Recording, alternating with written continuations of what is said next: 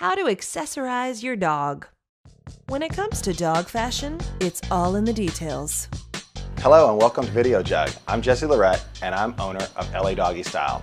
I'm also the in-house groomer and I'm also a consultant on dressing up your dog. Accessories are a great way to dress up your dog if you're not going to put clothing or sweaters or anything like this on your dog. Step 1 Doggles.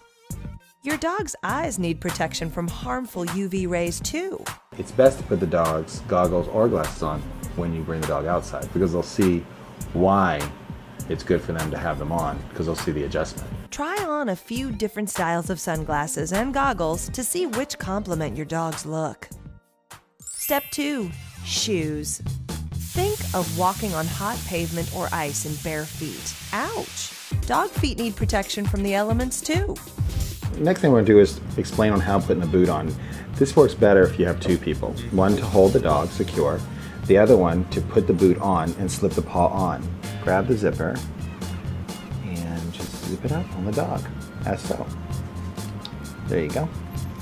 And then you take the Velcro piece and you wrap it around the boot to secure it around the ankle of the dog. And voila, here's what you get.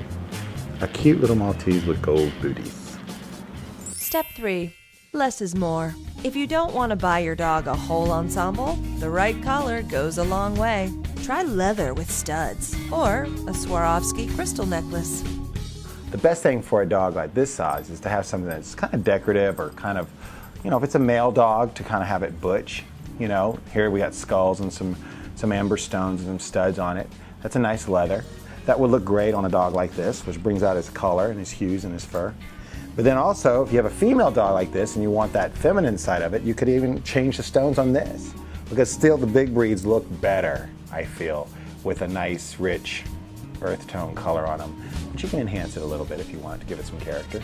Well, it looks good, doesn't it, Charlie? You're the man! Done.